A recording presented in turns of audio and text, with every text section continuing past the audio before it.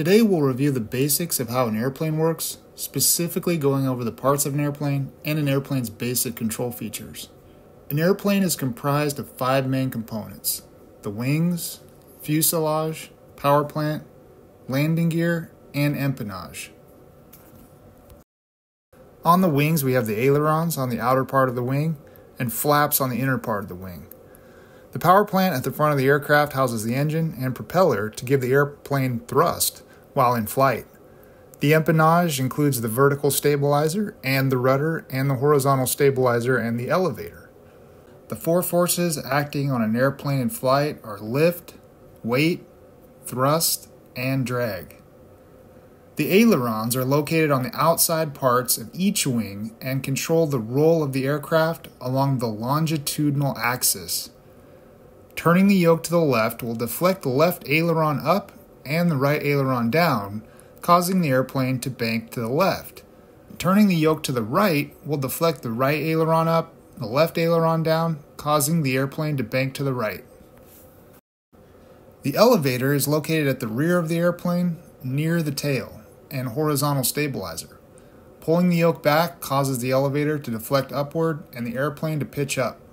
Pushing the yoke forward causes the elevator to deflect down and the aircraft to pitch down. The rudder pedals control the yaw of the airplane along the vertical axis. The rudder is located at the tail of the airplane on the vertical stabilizer. Pushing the right rudder pedal forward causes the rudder to deflect to the right and the airplane to yaw to the right.